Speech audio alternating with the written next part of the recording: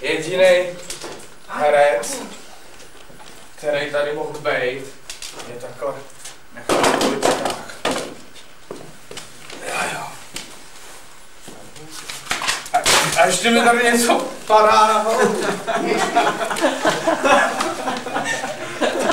Lelek Dudek, Jaroslav Špaček. No to by mohly být ty tabulky. Si mobila.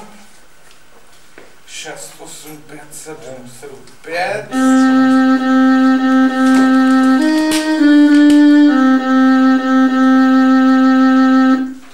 Halo?